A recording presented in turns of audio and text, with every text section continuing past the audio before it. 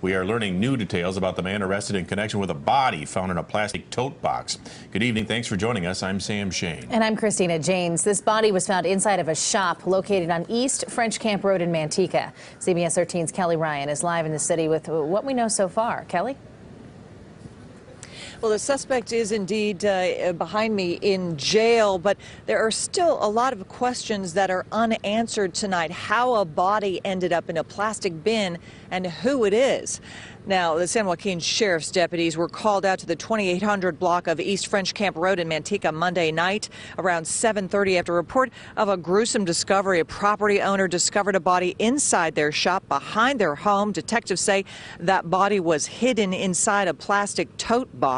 During the investigation, deputies say they identified 34-year-old Eric Allen Wright as a suspect in the crime. He was located at a Weston Ranch shopping center in Stockton and was taken into custody, transported to San San Joaquin County Jail. He is charged with murder in this case. Now, neighbors I spoke with say this is a very safe rural neighborhood developed by the owner of the home in question who passed away some years ago. Now, one neighbor told me that she had seen the sheriff's deputies come out to this home a half a dozen times in the past couple of years, but she didn't know for what reason. The sheriff's department says it is awaiting positive identification of the body and notification of the family. Now, Jenna Bedford, who says she knows the suspect, says her uncle has been been missing for three days and was last seen with the suspect in her aunt's car. On a recent visit to her aunt, she says she saw sheriff's deputies at the automotive business her aunt and uncle run.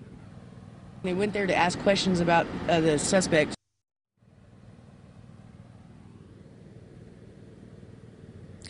Now, officials say they aren't uh, releasing any more information to the media at this time. They say they're still investigating this case. Official cause of death is awaiting an autopsy and, of course, also toxicology results. All right, Kelly Ryan live in San Joaquin County for us tonight. Kelly, thank you.